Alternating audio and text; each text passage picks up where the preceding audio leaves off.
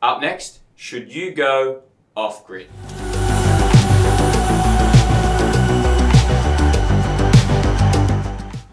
Hi, I'm David Green from Teho, the place where Australians save time and money as they make the switch to renewable energy.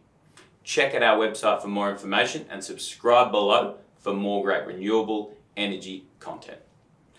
Every single day we get an inquiry from someone who wants to go off grid. The idea of being disconnected from the humongous machine that is the grid is a cool one. Being completely disconnected from the world, generating your own electricity, but still having creature comforts and being green, sounds pretty perfect, doesn't it? But there is one big problem, and the problem is a simple one. It costs a bucket load of cash, a stupid amount of cash. To be completely off the grid and independent, you need a lot of gear, and with that comes a lot of money. The big ticket component is normally the batteries involved to go completely off grid. The average home uses a lot of power these days, so you need some serious storage to support your demand. Then you need to consider generation, which is mostly solar for obvious reasons. Finally, it is quite specialised and there aren't many electricians that actually do it. So the labour and skills associated with getting it done are not cheap.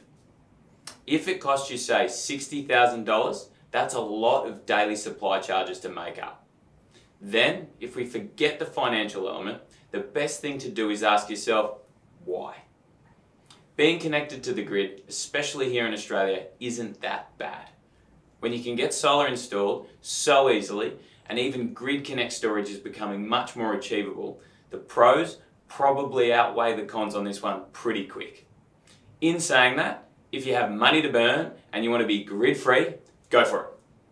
If it is your only option, there are some absolute gun specialists out there that can help you as well. So the moral is, we don't think you need to go off grid unless you fall under the following three categories. One, you have to. Two, you have an outrageously large amount of money to burn. Three, you wear a tinfoil hat for reasons other than aesthetics. That is it. If you are looking into solar or storage for your home or small business, give us a call on 1300 22 92 92 or check out the website at www.teho.com.au. I'm David Green from Teho. Thanks for watching.